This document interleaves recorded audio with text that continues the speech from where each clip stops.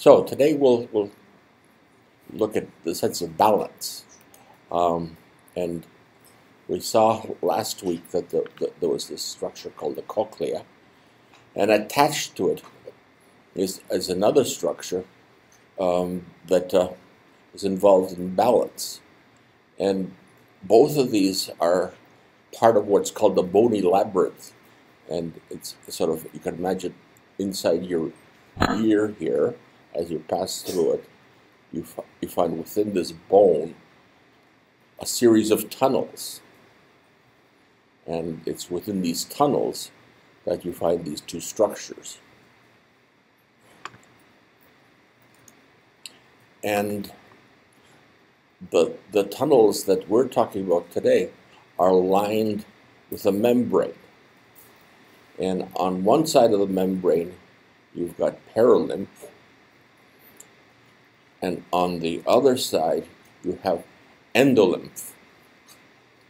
And um, the, the first one, perilymph, is similar to extracellular fluid, whereas the endolymph is similar to intracellular fluid. That is, it's high in potassium and low in sodium. Um, and it's the endolymph that bathes the hair cells uh, that we'll be talking about today. And it has this positive 80 millivolt charge with respect to the perilymph. Now, the reason both these structures are close together is because they evolved with this thing on the side of the fish here called the lateral line system, or lateral line organ. And what this, this is just a tube running down the side of the fish, and water flows through it as the fish moves through its environment and pushes against hair cells that are located here. And this water can be moved by either of two things, either the fish moving through the, the, the environment or some sort of disturbance within the water, such as a sound. So the same, uh, that's why the same structure became sensitive to both these modalities, both um, the sound and movement. Now, within the, the labyrinth, this the part of the labyrinth vestibular system that we'll talk about today, there are two parts. One are the canals, and those are important to sense your rotation. So my head is rotating from side to side. Okay, so that's rotation. More rotating up and down, or funny ways like to the side. The other thing can be translation, so that's moving in a straight line. So I were to move forward or backwards in my chair here, or, or from side to side. And the other thing that, uh, instead of moving in a straight line, that these sense is your sense of gravity. They also sense which way down is. So you know uh, how to remain upright, standing on, on, on your head or upside down. Now, within the otoliths, there are two parts again, dividing in two throughout this early part of the lecture.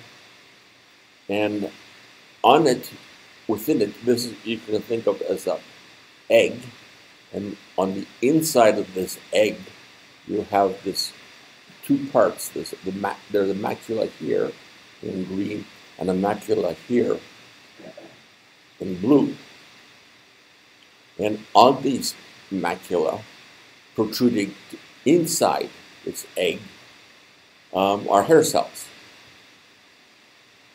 and there are thousands of them in each of these structures. Now, on top of the hairs, um, you can imagine somebody sort of poured jello over the whole thing.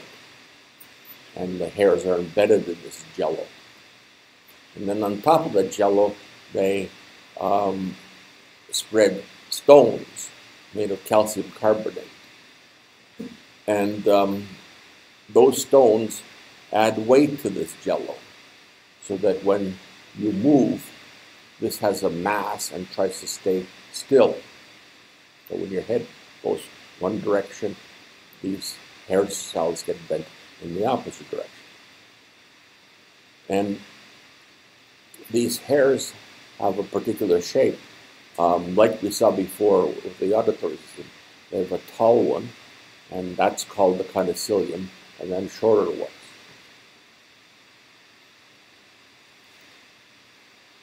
Now, again, as before, um, there's little strings attached to each hair, which then open up the top of, of the flap of the adjacent hair, and potassium flows into the cell.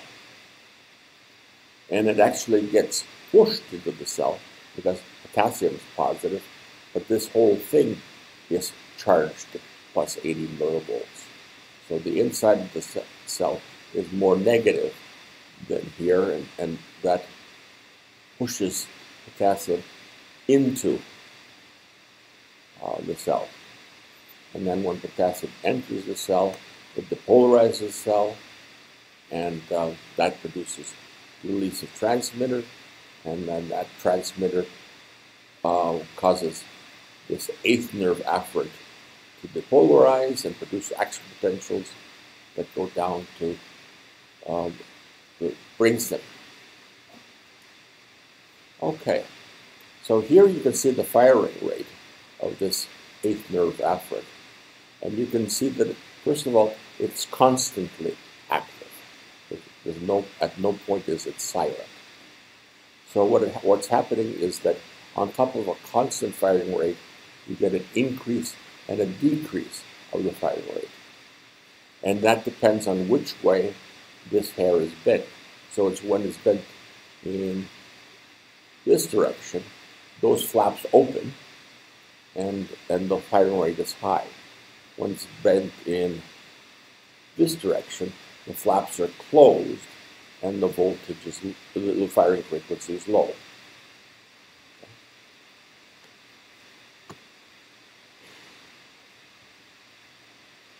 Now again, you can see that this, this is occurring sort of uh, every time you, your head translates forward and backward.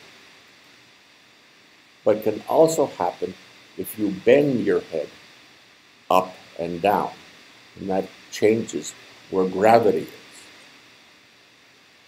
And as a consequence, this thing also senses which way down is. How your head is tilted with respect to gravity. Now, within each of these macula, uh, um, you have hairs pointing in every possible direction.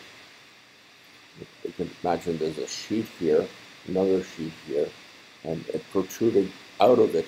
So this is the top of one hair cell, and this is the kinocilium here, and this arrow indicates the, where the kinocilium is.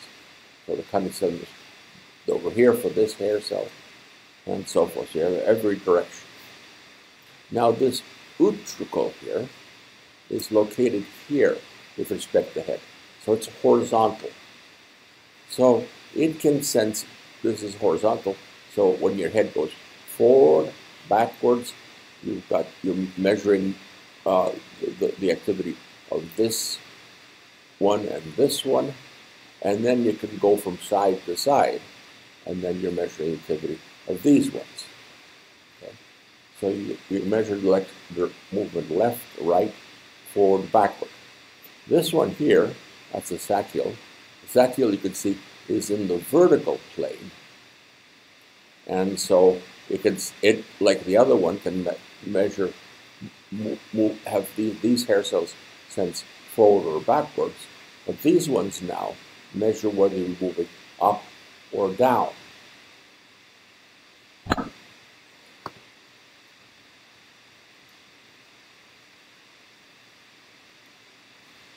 Okay.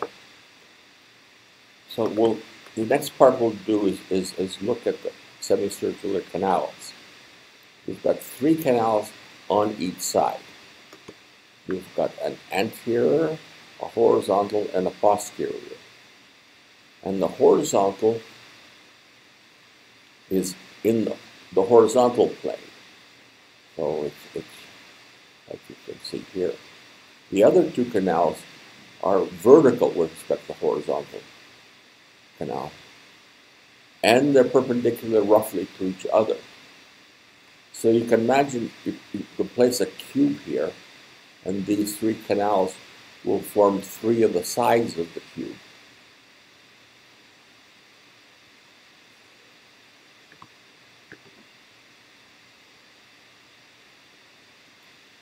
Now, within the canal is a widening. It's called the ampulla.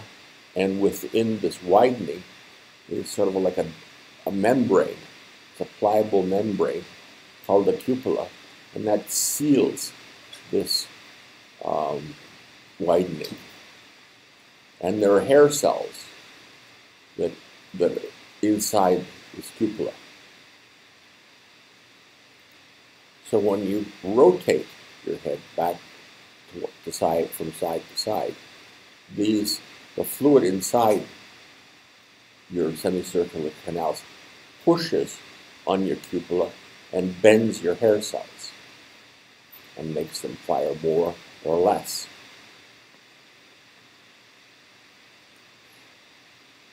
Now, each canal prefers a certain direction, so that it's oriented so all the kinocilium, the longest hairs, are in a particular direction to cause it to increase its firing rate.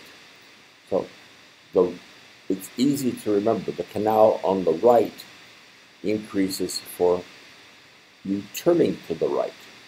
Oops, this is the right. Okay, so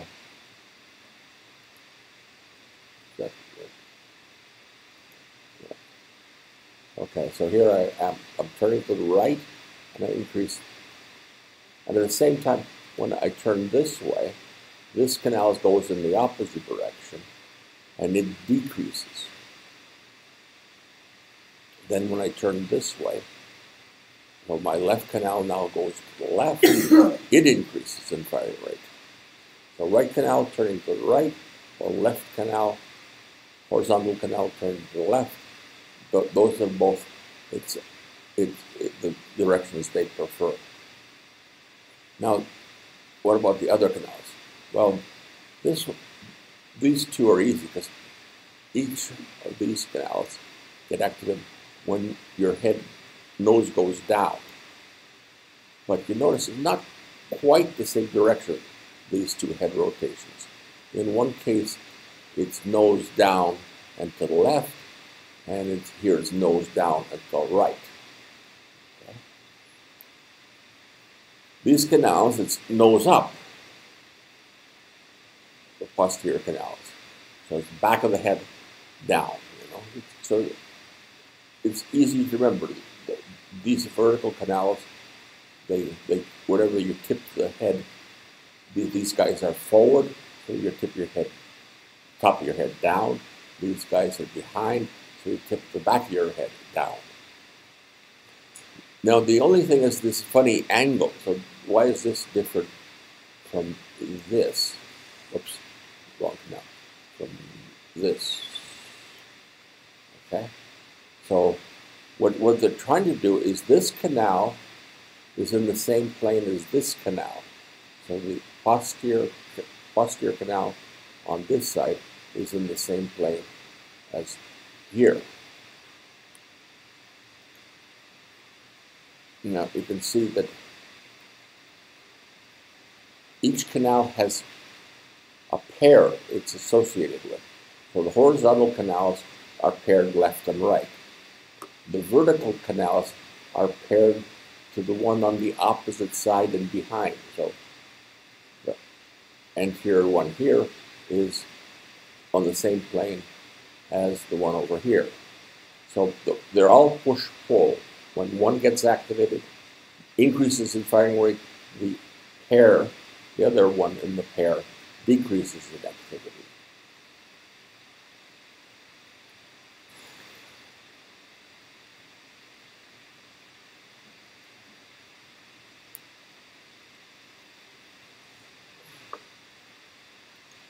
Okay, so why, what is it trying to do? Well, it, all these canals drive reflexes that help you when, when, whenever you turn your head left or right or when, when you do translations.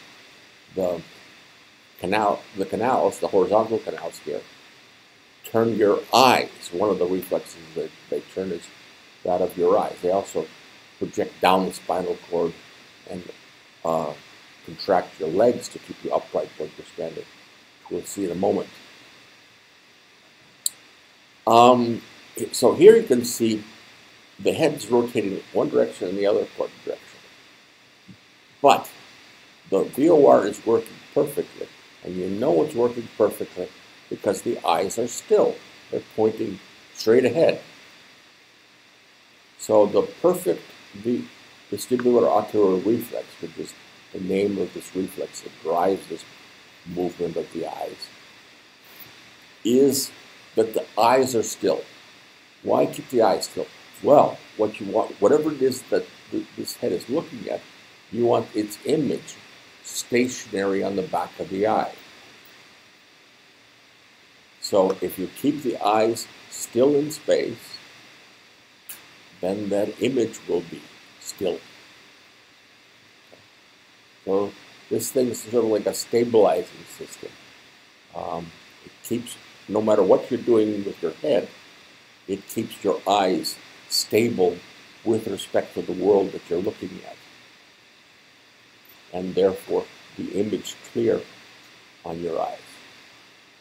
Now, that cell phone, that red cell phone of mine from the room there, um, uh, Apple is uh, one of the advertisements about it is that it's it's the the, the six uh, uh plus, and it has a um, a lens that rotates, uh, so it's a little thicker than the cheaper lens uh, camera, and so the, the, the lens of the camera actually rotates whenever the iPad or iPhone senses that that you've rotated, the camera's rotated.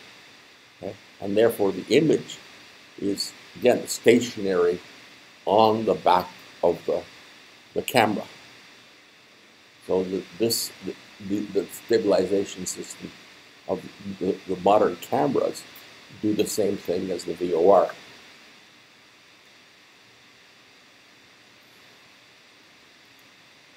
Now, the reflex that does this is, is a, a simple one.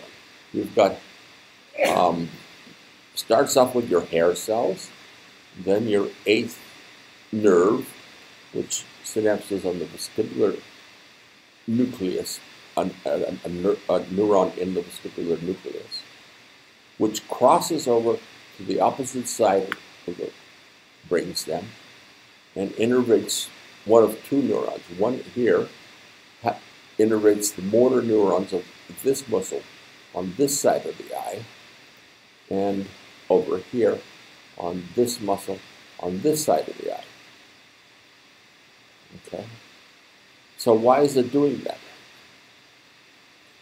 Well, you can see here, when the head rotates, it activates, as said, you turn to the right, this canal, the hair cells, and this canal will become more active this more, greater activity is going to be sent down this pathway, and this muscle and this muscle contract, and that'll counteract the rotation of the head if the eye turns in the opposite direction.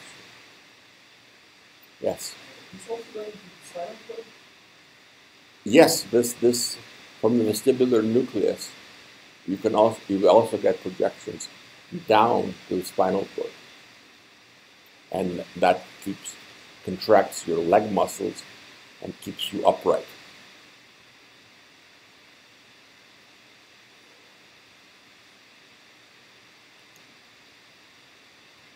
Okay, at the same time, you can see where the rotation starts here.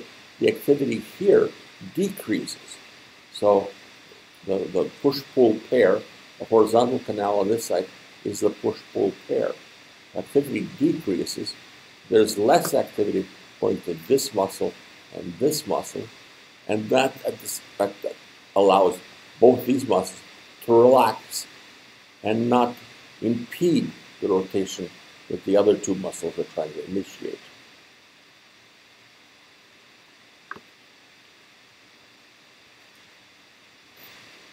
Now, visual input normally assists the VOR. Um, so, during normal um, head rotations, uh, first of all, you try to stabilize the image. Here's the normal one.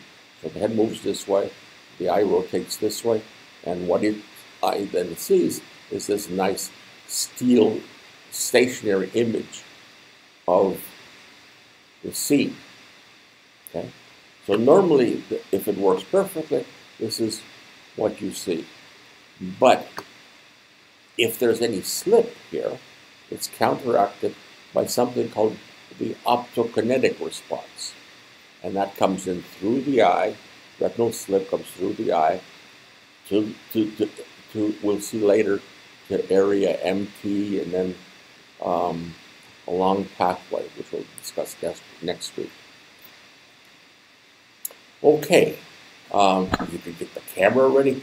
If I could film you guys doing this exercise, okay? So you could all stand up and stand on, when I tell you go, you stand on one foot and you try to remain standing for as long as you can. One, two, three, go.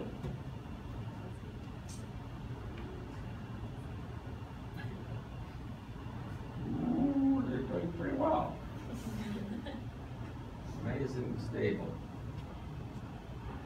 Okay, I won't, won't, won't push this anymore. Okay. Now we'll make it time. Okay? One, two, three, go. Whoa. We are not as good as before. Okay. Uh, I'll stop that because uh, a lot of you have had a lot of problems with this. But some were re remarkably good. Oh, congratulations. Okay. Just remain standing for one more thing. Okay, just that keep your eyes open, but again on one foot when I say go. Okay. One, two, three, go. And stare at the screen.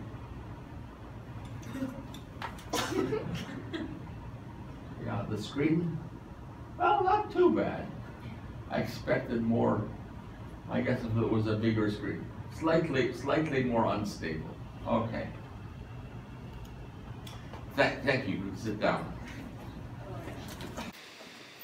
So, if the screen was bigger, like if you went uh, to the uh, something like uh, Silver City, and you got a right up a, front seat, um, you would, whenever the screen went this way, you would feel that you're moving to, in the direction it was moving, or in the opposite direction, I should say.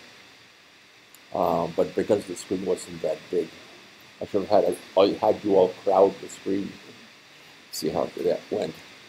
Okay, so let's let's let's do this this thing.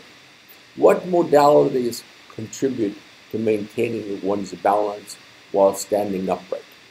Uh, the vestibular system. Yes. Okay. Um, what about your sense of touch? No? Yes. Um, okay, we've got some yes and some no. The answer is yes.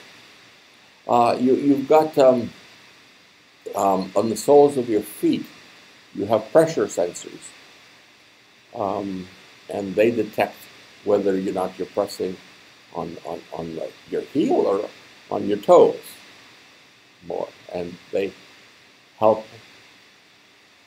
uh, do a spinal reflex that will keep your legs can, or muscles contract appropriately and uh, keep you standing. What about this? Oops. Yes. Okay. Again, if you stretch the muscle that uh, keeps you keeps you standing, that'll again contract it, and it'll stabilize, it, maintain the position. As no vision, vision is no. Oh, it's yes. It's yes. You you you you uh you you you, you the reason you, you should remember that is when you closed your eyes, you're far less more unstable. Okay? So when you closed your eyes, you fell over quicker. That meant when your eyes are open, it's helping you. Okay? So that, that's important to remember. Now, auditory system, I, I think it, it, it, it, depends, you know, um, on what the sound was. And if you could somehow, if the sound indicated where the world is or something like that, then you could use it to stabilize yourself. Yes, you have a question? Did you talk about the physiological pathway towards vision? Did you uh, uh, or balance? Balance. No, we haven't talked about the pathway. No, we'll we'll talk about it, I believe, next week. Okay. But I, I just mentioned it briefly that, that again, uh, if, if you have retinal slip, it'll go through area MT. It'll involve MT.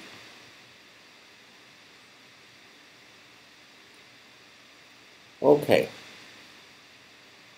Why do we get dizzy? Well, here you can see um, a little bit uh, um, speed it up. You've got to pull. This is this um, this is the time you're rotating your head. Okay, and when you start rotating, you get a push on your uh, cupula.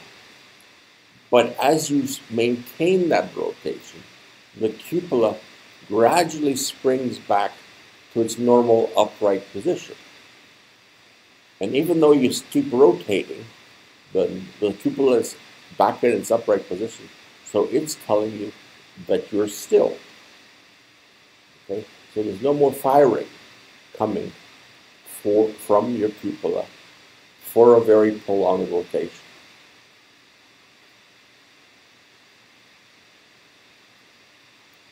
Now, what happens when you open your eyes during a prolonged rotation? Let's say Let's say your eyes were, you closed your eyes, you started turning around and around.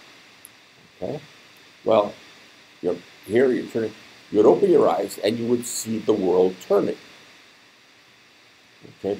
And you, but at the same time, your cupula is telling you you're not turning. Okay? You to, so you have this conflict. Vision is telling you you're turning, the cupula is telling you you're not turning, so you feel dizzy.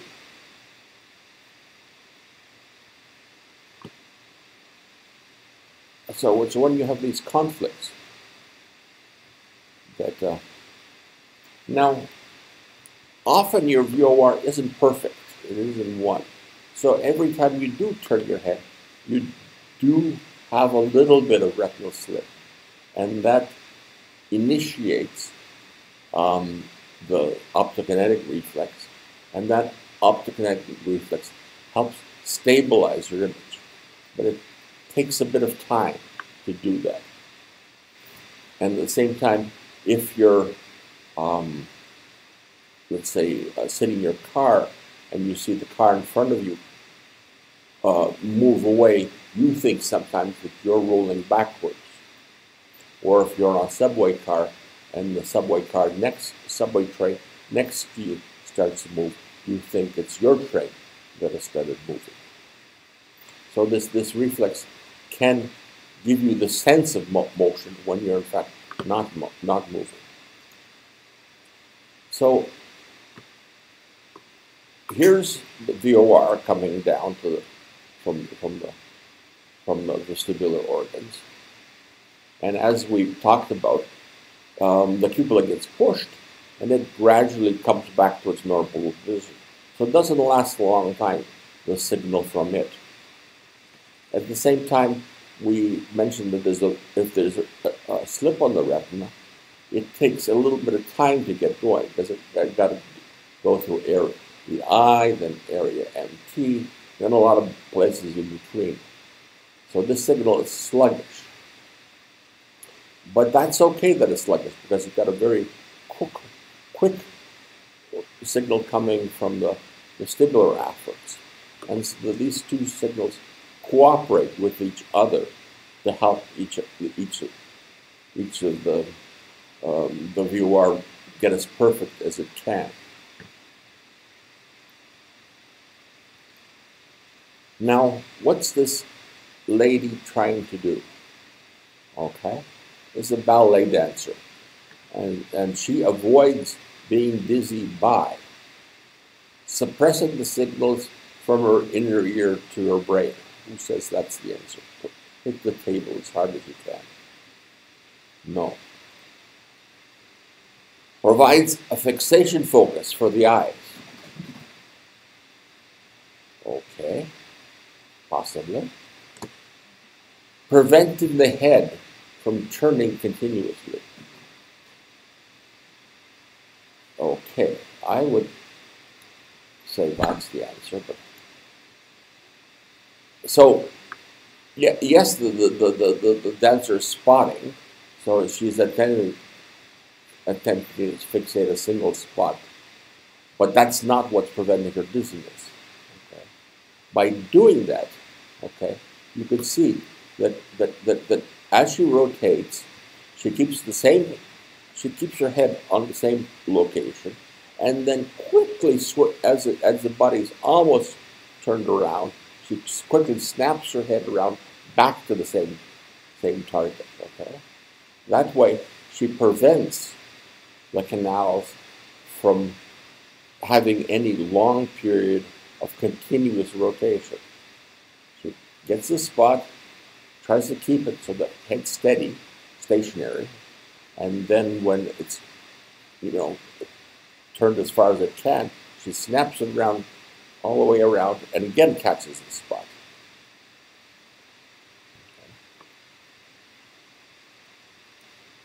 Now, you get motion sick often. Um, what's that produced by? Well, here you can see a boat going up and down because of waves. And you can see a person here, and this, this diagram is intended to represent this person inside his cabin. So here he has a conflict. His brain has a conflict. His visual system tells him he's the room is moving with him. So there's no visual signal that he's moving.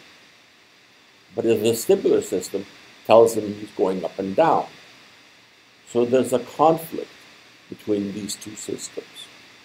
And as a consequence, um, this conflict produces the sense of nausea. Um, to avoid this conflict, the best solution for this, this passenger is to get out on the deck, and then the two signals are congruent. Okay?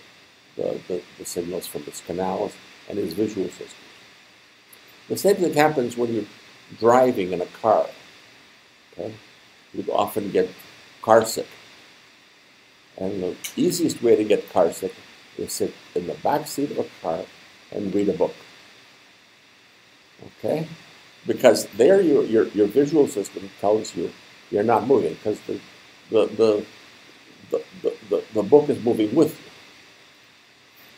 you. Okay? Like the vestibular system says you are. The best way not to get car sick is sit in the front, the front seat of the car and look out the front window. Because again, the two signals are congruent there.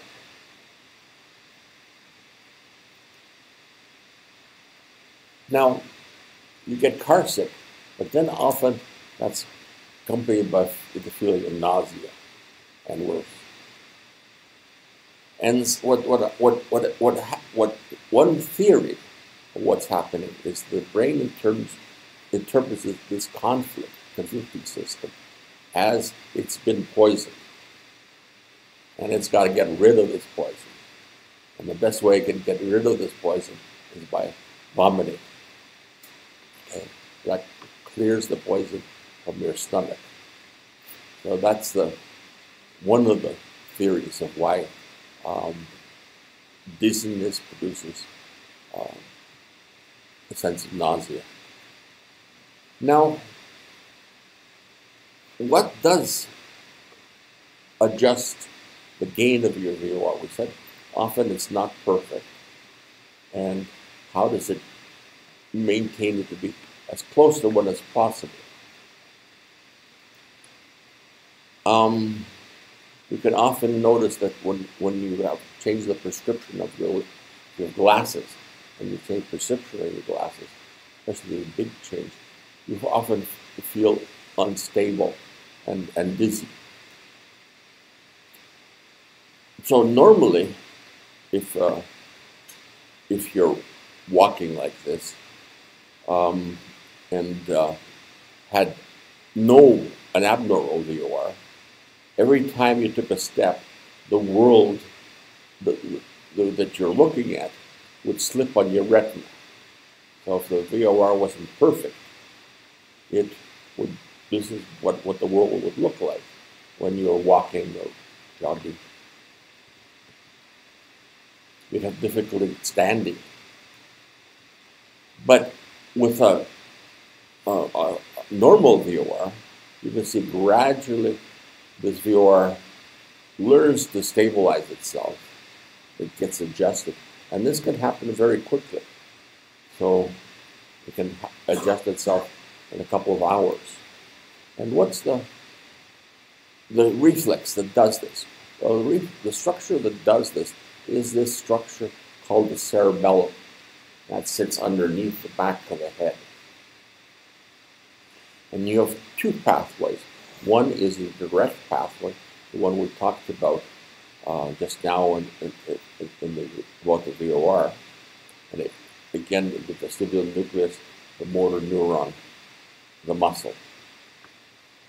But the, the eighth nerve, besides heading up to the vestibular nucleus, goes up as mossy fibers to synapse onto cells that form parallel fibers. These fi- parallel fibers in turn synapse on this thing called a Purkinje cell.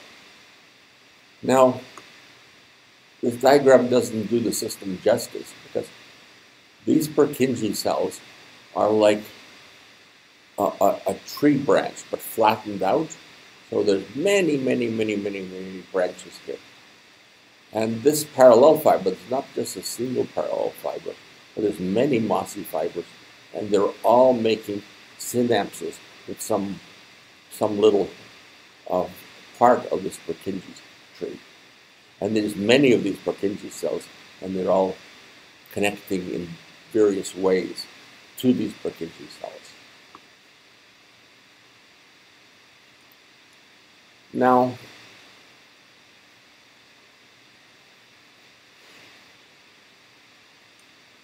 okay,